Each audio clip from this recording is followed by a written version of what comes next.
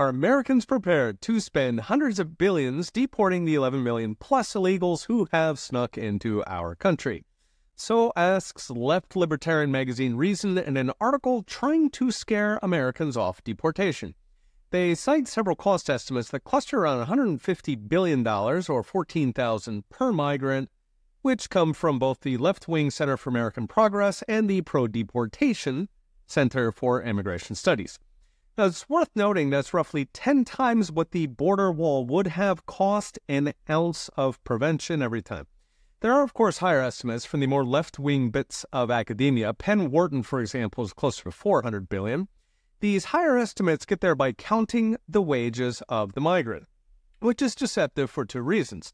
First, the wages went to the migrant, not to taxpayers. He used it for haircuts or rent on a place an American could not live or he sent it home in remittances.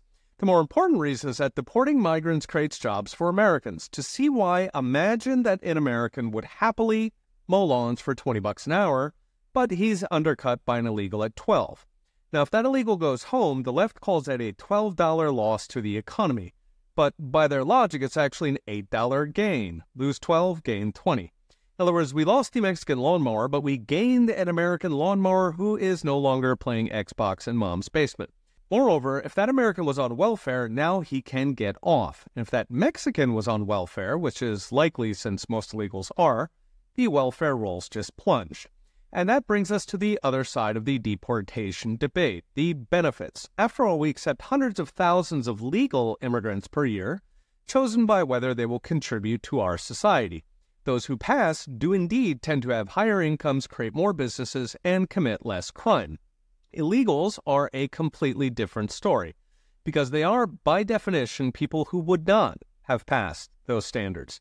Tallying this up, according to CIS, the lifetime drain just on taxpayers is roughly $68,000 per illegal. Compare that to the deportation costs of 14.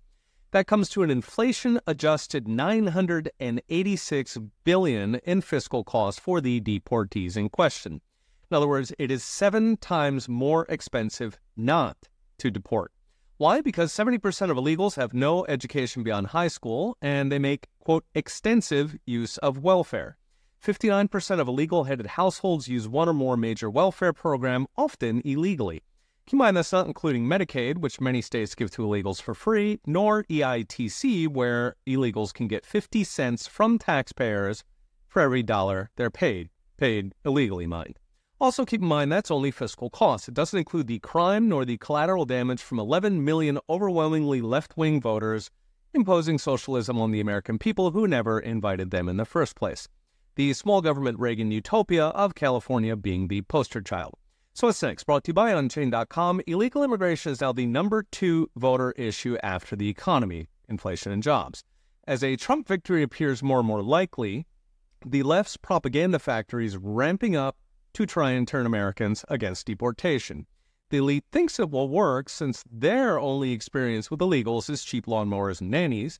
Voters, on the other hand, can see with their own eyes the crowded schools, the packed shelters kicking out veterans and elderly, the dangerous trees, and the trillions in welfare. To fix all that, 150 billion is the deal of the century. A new episode of the podcast is up. Check it out at peterstonge.com. Okay, we'll be watching. See you next time.